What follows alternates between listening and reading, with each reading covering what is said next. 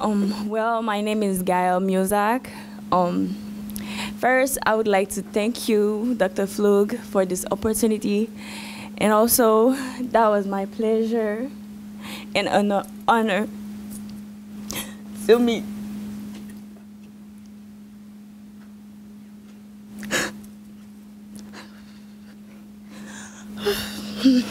sorry, to meet Miss Anita Weisbord.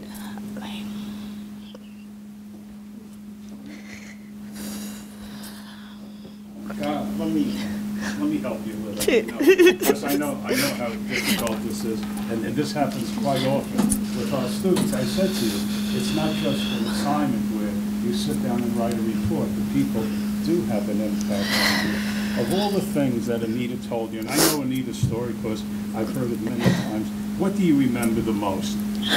Well,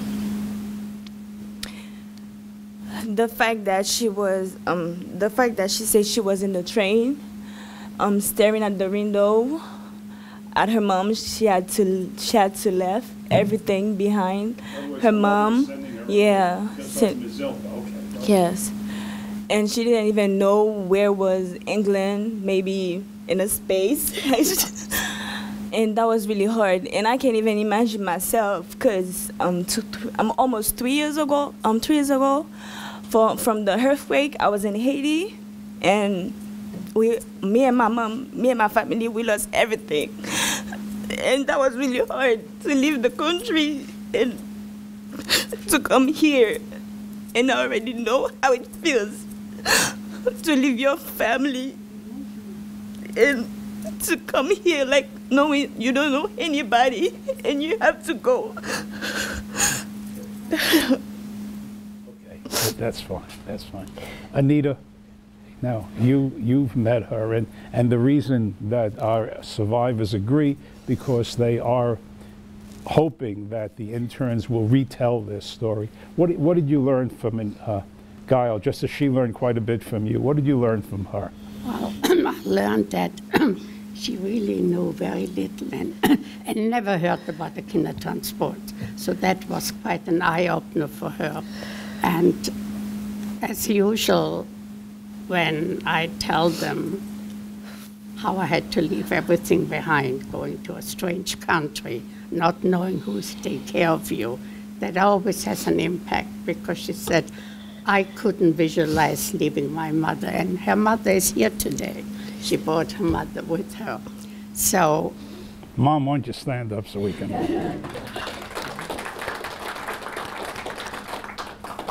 So I think it's a tremendous impact and about our story, which is entirely different. I know we didn't go through the horror of the camps, but I think any child in any age who has to leave everything behind, going to a strange country, not knowing the language, not knowing who is going to take care of them. And there were two-year-old and three-year-olds under transport to England who had no idea what happened to them. They just cried for their mothers. They couldn't understand. And I think I always say that I give, my mother gave birth to me twice, when I was born and when she had the strength and the foresight to send me out in the kindertransport. I think the mothers and fathers are the heroes of the story. It's a, it is an amazing 70 years difference to when she had to leave her country and Guy had to leave her country. And look at the reaction both. Thank you both very much for participating.